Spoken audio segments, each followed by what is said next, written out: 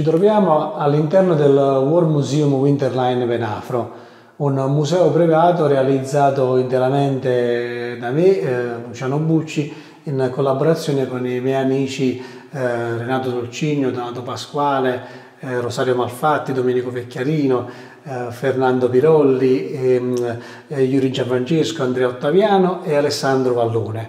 Siamo un'associazione di collezionisti, eh, il museo è stato fondato nel 2007 ma la collezione risale a più di 30 anni fa, abbiamo iniziato a collezionare quando eravamo ragazzini e il museo narra gli avvenimenti eh, accaduti a Venafro e dintorni su quella che i tedeschi chiamavano linea Bernard, che gli, però gli alleati eh, la ribattezzarono Winter Line perché eh, i combattimenti avvennero nell'inverno tra il 43 e il 44.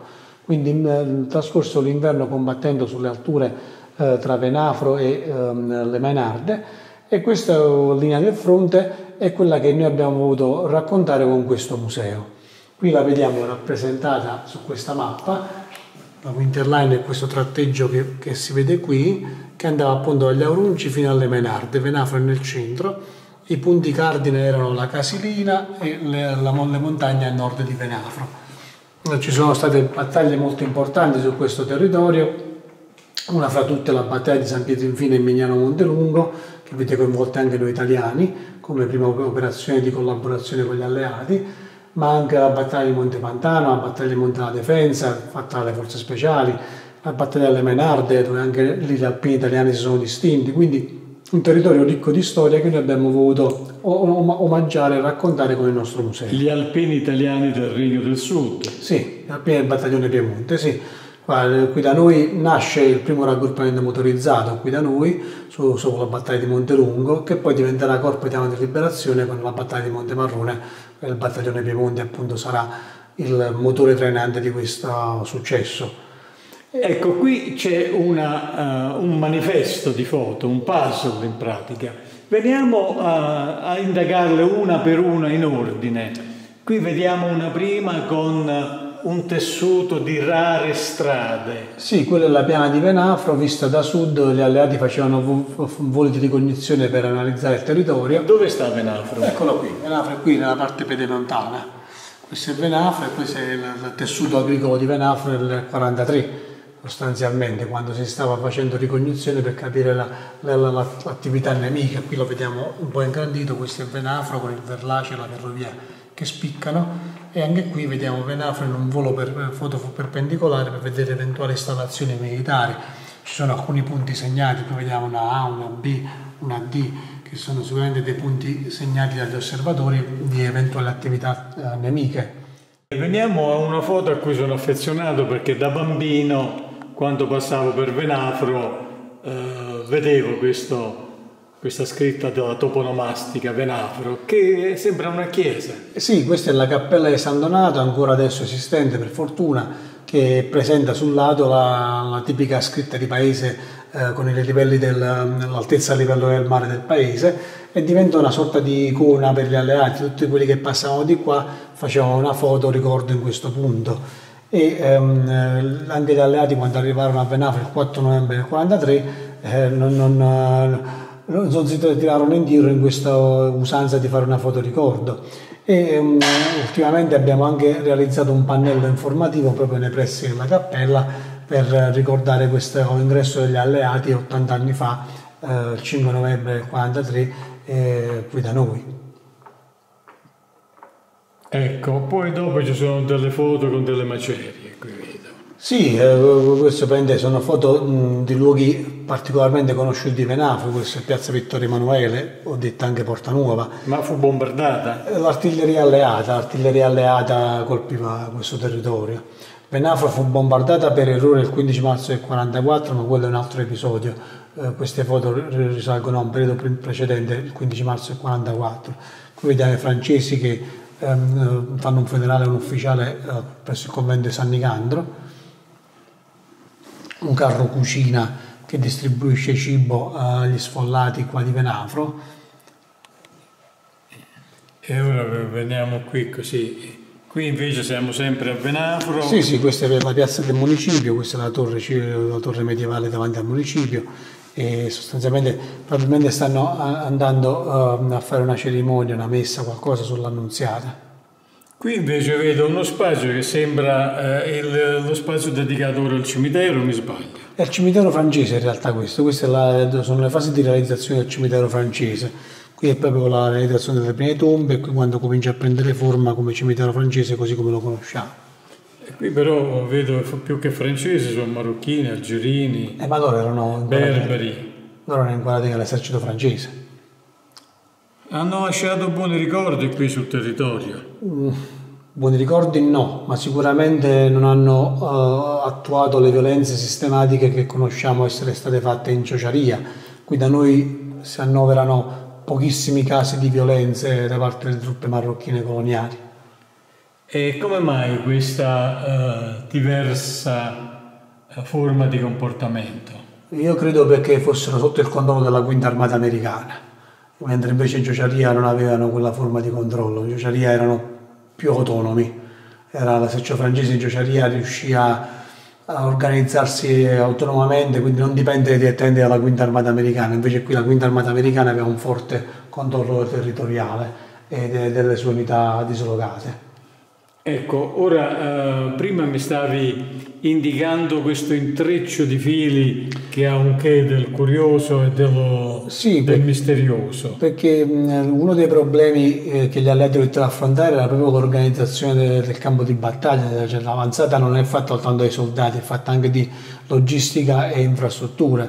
E tra i problemi c'era appunto quello di connettere le comunicazioni, quindi dalla prima linea alle retrovie, quindi si faceva tutto quanto via cavo, chilometri e chilometri di cavo ovunque, ma anche la logistica, portare il materiale in montagna non era facile e bisognava affidarsi ai muli. Questo sarà anche il primo momento di collaborazione tra gli, allea- gli alleati e gli italiani. E qui vedo dei, dei giovanotti, chi sono? Qui sono due venafrani, erano due ragazzi venafrani. Ehm, eh, Giosuè Lepore, detto Nino e Giovanni Leva, che sono praticamente in compagnia di un italo-americano. Tanti italo-americani vennero qui a combattere e facevano in qualche modo da legame, da punte di comunicazione con uh, le truppe alleate. Qui eh, dove siamo in questa foto? Qui siamo di fronte praticamente alla cappella di San Donato, siamo sostanzialmente più o meno qui, siamo più o meno qui e stiamo guardando verso Santa Croce che è appunto il primo punto da conquistare. Eh, Santa Croce e Montecorno sono, Santa Croce e Montecorno sono le prime battaglie che si faranno qui intorno. Mm. Qui vedo sono americani che cercano le mine o sbaglio? Sì, sono paracautisti del 504esimo nella ricerca appunto del, dei campi minati, la bonifica dei campi minati. Questa è una foto di propaganda ma mh, mm, mostra quello che è l'attività normale. Gli accampamenti sul nostro parco dell'Olivo o anche Campaglione eh, i problemi con il, il, torrente Rava e il, il fiume Volturno, bisognava ricostruire i ponti e quant'altro. Qui sopra ancora più evidente con il ponte 25 archi. Queste sono foto scattate dai cronisti fotografici della Life. Alcune, altre sono foto del, del um, private o anche foto del uh, reporter di guerra di altre testate giornalistiche o intelligence anche per documentare l'attività. Ma voi queste foto le, le avete eh, prese da internet o le avete comprate al museo, al, all'archivio? Non comprate ma eh, diciamo copiate all'archivio. Io sono stato due volte all'Archivio Nazionale di Washington a fare ricerche e ho potuto accedere alle foto. Quindi vi hanno autorizzato? Sì, sì, sì. Ecco, qui è un, un episodio particolare questo. Questa è la messa di Natale fatta al campaglione di Venafro, al Parco dell'Olivo di Venafro.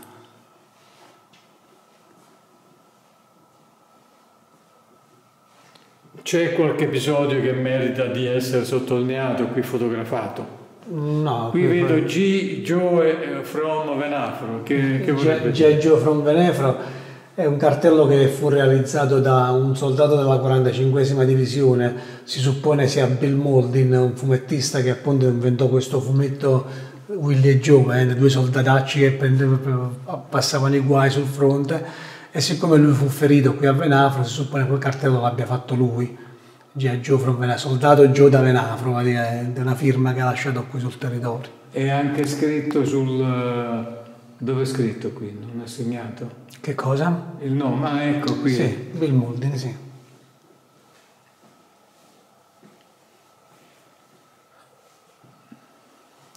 Questo è il ponte 25 archi. Sì. Ma mi è stata raccontata una storia che era stato minato dai tedeschi, poi dopo era stato salvato rocambolescamente, poi invece... Non, sembra, non credo proprio. Quindi no. è una leggenda. Eh beh, eh, le foto parlano chiaro. E, anzi, addirittura, oltre che fatto saltare i tedeschi, fu anche preventivamente colpito dai bombardieri americani. Fu prima danneggiato dagli americani e poi fatto saltare i tedeschi. Ma la storia di un ponte che eh, un atto eroico di gente del Molise ha impedito che saltasse in aria c'è o poi è stato tutto qui da noi no qui da noi non, non, mi risulta qui il torrente Rava perché è importante no non è che è importante è la dimostrazione di come funzionava la logistica bisognava costruire i ponti e andare avanti e qui siamo sul fiume Volturno sì questa è la località Ponte Terre dove prende il confine con il Capriati mm-hmm. ecco andiamo avanti Qui abbiamo delle altre foto. Sì, questo è la fronte sostanzialmente. Che... Questa che rappresenta, vedo un cuneo di monte. Sì, questa è la cresta della montagna Pende, questo è Monte Corno, qui c'è Santa Croce, questo è il Sammucro, la linea del fronte, questo è Conca Casale e Venafre qua Qui giù. stiamo pre-Cassino in pratica.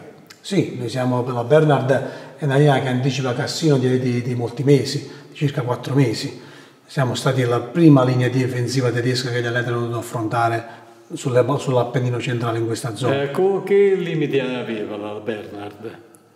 Dalle Aurungi fino alle Mainarde andava come linea difensiva ed era mh, avanti alla Gustav di circa 7-8 km in linea d'aria. Ecco, qua teniamo ancora fila di muli, se non sbaglio. Sì, i muli diventarono i migliori alleati delle, dei soldati da entrambi i fronti. Senza i muli non si andava da nessuna ecco, parte. questi che vediamo sono muli americani o muli tedeschi? Sono muli americani questi qui, che veramente sono muli italiani, perché poi i muli americani non avevano i muli, se requisivano i muli erano italiani. Ma erano buoni mulattieri qua, mi sembra un po', li vedo un po' impacciati. Infatti molte volte vediamo gli italiani stessi che si occupano dei muli ed è quella la prima forma di collaborazione che, che ci sta proprio tra, tra italiani ed alleati. E invece qua giù che è un bombardamento. Sì, questa è una sequenza di foto di Conca Casale bombardata dagli alleati eh, tra eh, il 20 e il 29 novembre del 1943. Questa sarebbe la, la prima delle... Eh sì, sono, sono, sì, queste qua sono le prime bombe, sì. Poi la nube, poi la nube ancora più intensa. Ecco, veniamo ora a queste di sotto. Vedo novembre 43, Monte Santa Croce. Barellieri portano a valle feriti, feriti in battaglia, è così? Esattamente, perché purtroppo la, non c'era modo di accedere con i mezzi sopra le montagne, quindi tutto veniva fatto dalla fanteria a spalla o con i muri, anche il trasporto dei feriti. Ah, qui vediamo postazioni piuttosto difficili. Per sì, la, la, le, purtroppo le nostre montagne non sono amichevoli, sono molto impervie. E quindi anche per i soldati stare in postazione non era facile. Ecco di nuovo una teoria di muli. Sì, questa volta ci sono anche gli italiani tra di loro che portano, questi qua hanno il metto italiani, hanno, quindi sono italiani. Insomma i mulattieri sono sì, italiani. Sì, sì. Ecco, qui ancora siamo in una specie di trincea. Sì, questa è una, una, cresta di qualche collina qui intorno tra Venafra e Concacasale. Qui? Questa è nella zona di, del Demanio, a nord di Pozzilli è un punto di smistamento della posta. Qui vedete carri armati nella neve. Sì, questa è la strada che va verso il Demanio, verso Acquafondata, da, da, da Pozzilli, e una, fu una delle strade carrozzabili che fu conquistata dagli alleati. Eh, qui che porta addosso questo soldato? Una radio. Quindi è un radiotelegrafista? Sì, sì. Ecco, ma aspettavo che fossero francesi invece. Sono... Questi sono francesi questi qua. Ah, sì. sono francesi. Sì, questi sono francesi. E dietro ci stanno i marocchini forse? Sì, insieme stanno i marocchini. Sì. Davanti ci sono gli, andavano gli ufficiali, perché sì. mi sembra dai lineamenti del primo dove essere. No, è, no, è armato. Sì, sono ufficiali, sì. È un ufficiale, sì. Poi vediamo un po', ancora qui ci sono i nostri amati marocchini. Stanno dinanzi alla chiesa o sbaglio? Sì, questa è una chiesa che si trova tra, tra Acquafondata e Valle Rotonda. Qui mi, mi, stringe il cuore a vedere quella donna con il, la conca in testa che passa in mezzo a tutti questi amici di famiglia qui. Beh, ripeto, qui da noi per fortuna ci, ci fu abbastanza controllo. Mm. Quindi questa donna non subì Vabbè, la sorte delle amiche, no, assolutamente no. delle consorelle eh, ciociare. ciociare.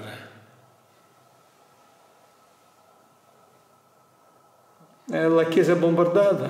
Eh, questo è, è Casal Cassinese.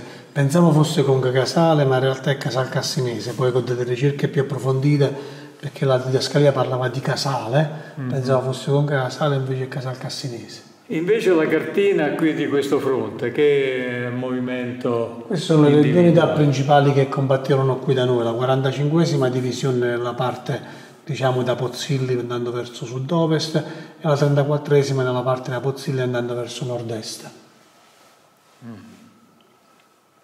Qui diciamo ai muli è stato dedicato veramente grande spazio fotografico. Beh, perché sono le, le, foto più caratteristiche del territorio, mostrano ampi scorci, quindi erano anche utili per definire il territorio stesso. Questo è Rocca Pipirozzi, per esempio, qua sopra. Questi sono altri muli mentre caricano, di questo abbiamo anche filmato, di questa sequenza. Mm. Dove l'avete preso? Al Nara? Sì, anche quello là.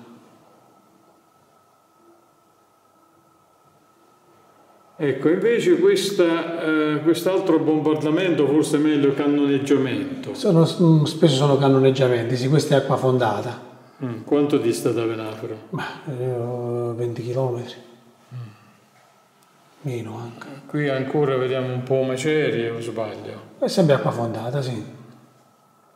Che sono questi soldati? Sono francesi. francesi. Sì, la parte nord del fronte era più che altro gestita dai francesi. Qui il museo quali eh, spazi geografici delimita nel racconto? Uh, da, da Mignano, da, dalla Defensa fino alle Mainarde come spazi geografici, il periodo novembre-febbraio. Mm-hmm. Ecco, qui dove siamo?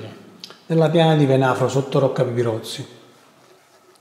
Sono eh, un'artiglieria alleata nella piana di Venafro. Qui bello questo cingolato, che, che, che, tipo di mezzo è? Questo è un half track americano che si trova sulla strada che passa a Vietrinvine, da Venafro.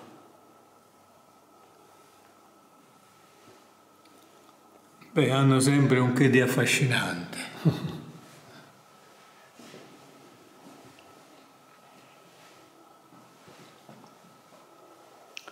eh, però non abbiamo finito, mi sembra. Qui... Eh, leggendo il pannello che dove ci troviamo qui? No, questa è sempre la zona del, del fronte, però è una fase successiva, veramente con uh, ormai il fronte che sta andando verso l'Augusta, per gennaio del 44 eh, comincia questo passaggio del fronte dall'altra parte e quindi abbiamo tutta una serie di attività uh, diverse. Il retrofronte. Esatto, sì, tipo, Ed è sempre Venafro. Questo è Colle a Volturno, quello lì in particolare. Ah, questo qui è Colle a Volturno? Sì, sì, questo è Colle a Volturno, sì. Poi ci sono Pozzilli, Venafro, San Vittore. Quindi con la Volturno anche questo accanto.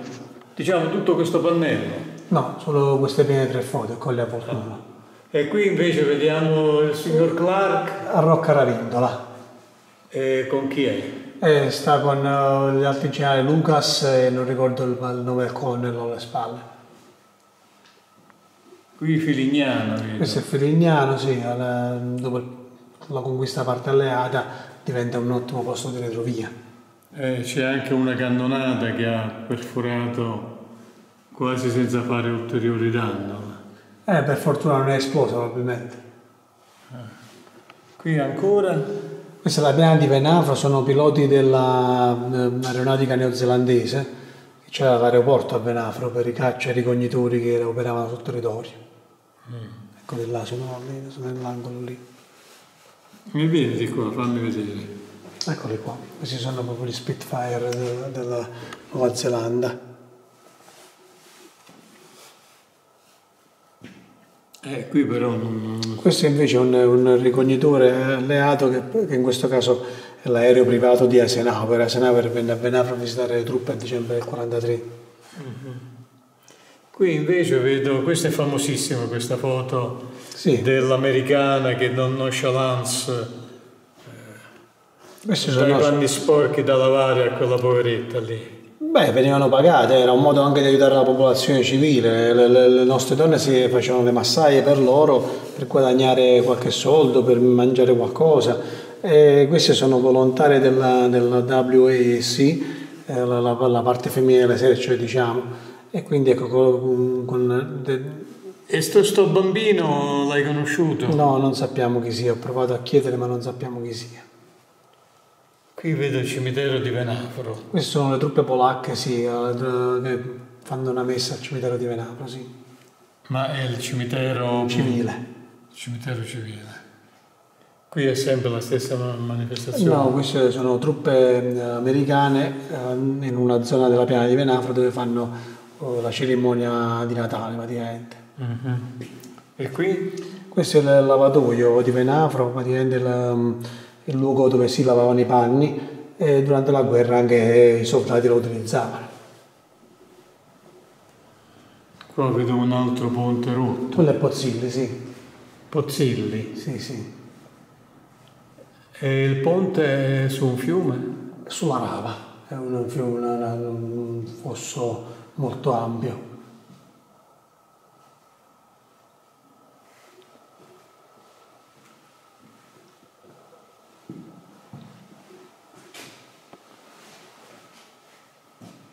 Ecco, qui torniamo ancora a Pozzilli, è un accampamento. Sono ospedali, sì, furono realizzati nella pianura tra Venafra e Pozzilli più ospedali militari per curare i feriti. Molti di loro erano gestiti dai francesi stessi. Insomma, è l'antesignano della Neuromed. Eh, in qualche modo sì. E qui ancora sempre Sì, sì, sì, tutto quanto una sequenza di foto che riguardano. dello- all'ospedale americano alleato a Pozzilli. Sì, E queste signore invece? sono del personale dell'ospedale, sono infermiere del personale dell'ospedale. Eh, sto, sto- sto pantano che vediamo qui. Il fango fu una delle condizioni anche oltre le montagne limitanti la- l'avanzata. Eh, pioveva sempre, la- la- tutto, era tutto fangoso, qui lo vediamo ancora di più in questa foto. Quindi ci sono tante testimonianze di come questo fango fosse un grosso ostacolo da, da gestire per entrambi i fronti, sia i tedeschi che gli alleati. Pare il 43 e 44 sia stato l'inverno più piovoso Esattamente, sì, così dicono le testimonianze. Sì. del Novecento, almeno fino allora. Qui vedo eh, c'è una conoscenza. Il generale Utili e il principe Umberto di Savoia. Eh, infatti, eh, fa un certo effetto. Qui dove siamo? Qui siamo a Rocchetta al Volturno, a Castelnuovo.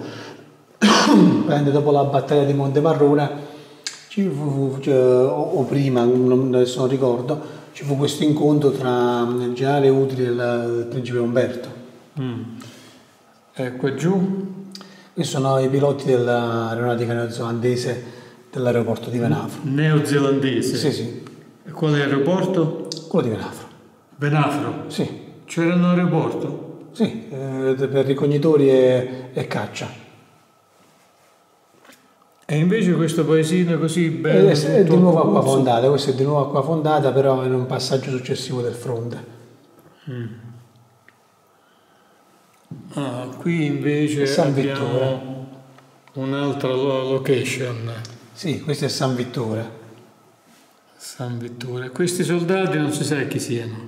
Sono soldati del um, 448 e 235 battaglione di ingegneri. Mhm. Ecco, qui c'è scritto la Winterline immagini dell'area di Venafro e dintorni tra il novembre 43 e il febbraio 44. Ecco, che logica, con che logica sono state eh, inserite queste foto? Ecco, qui che si vede, sempre Venafro. Sì, sì, questo è Venafro, in realtà a ottobre del 43 sono foto fatte dai tedeschi sul, sul territorio di Venafro e mostrano diciamo, la, lo, il loro punto di vista, mentre, mentre gli alleati cominciavano a colpire questa zona, loro erano qui a organizzarsi. Anche questa, anche questa è una foto tedesca? Sì. Quindi i tedeschi fanno vedere le, i risultati del cannoneggiamento alleato eh. degli alleati? Sì, sì, sì. C'è un po' di polemica forse nella foto. No, la guerra è guerra, secondo me più che altro anche a livello loro di logistica e di intelligence. Non è di propaganda? No, la guerra sa che fa questo, eh, anche perché alla fine eh, gli alleati stavano avanzando da sud, quindi era concepibile che sarebbero arrivati a colpire queste zone. Qui vedo un fatto un soldato tedesco. Sì, sì, questa foto è fatta proprio in successione con le altre. E, ehm, qui vedo ancora la chiesa del Purgatorio. Sì,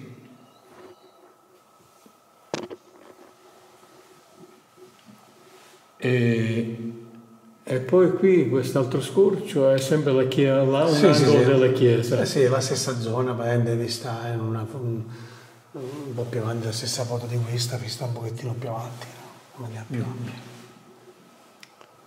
Queste invece sono foto americane fatte dai paracautisti di propaganda per far vedere il fronte.